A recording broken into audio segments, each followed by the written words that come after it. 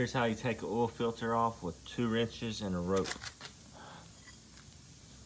You get one wrench, you pull the rope through it about like that. You go up under your car, you put that up over your oil filter, pull it as tight as you can. Then, when it's on there, start spinning it till it's about like that right there.